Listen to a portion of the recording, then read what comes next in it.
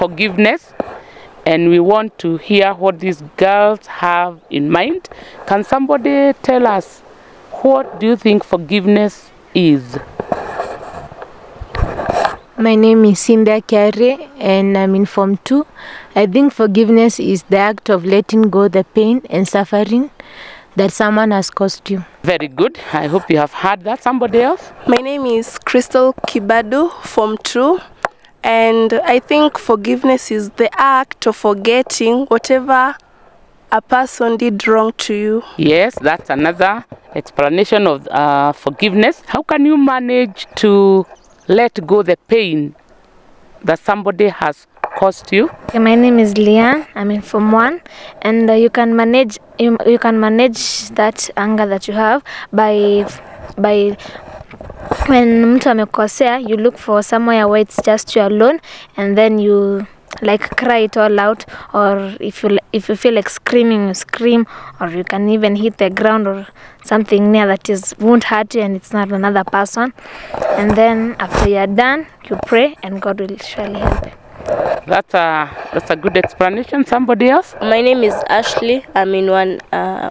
one H, and I think one can be able to relieve herself of the anger, but is by writing down all the emotions that are inside you, so that you can relieve yourself.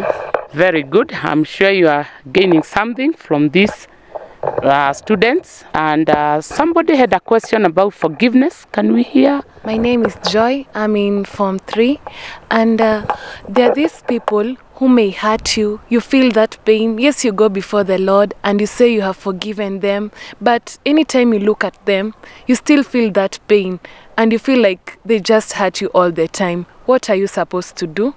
I think uh, as a child of God or as somebody you know God, you're supposed to love them and uh, pray for them and pray for your heart.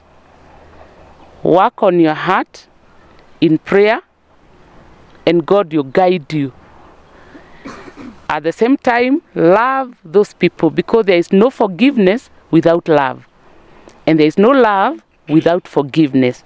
So when you learn to pray for your heart and also love those who are hurting you, with time, God is going to heal your heart and He is going to help you come out of it. I hope you have gained something on our discussion today. We would want to leave you with a verse in the Bible, in the book of Romans, chapter 12 and verse 9, that says, Let love be without hypocrisy, abhor what is evil, and cling to what is good. God bless you.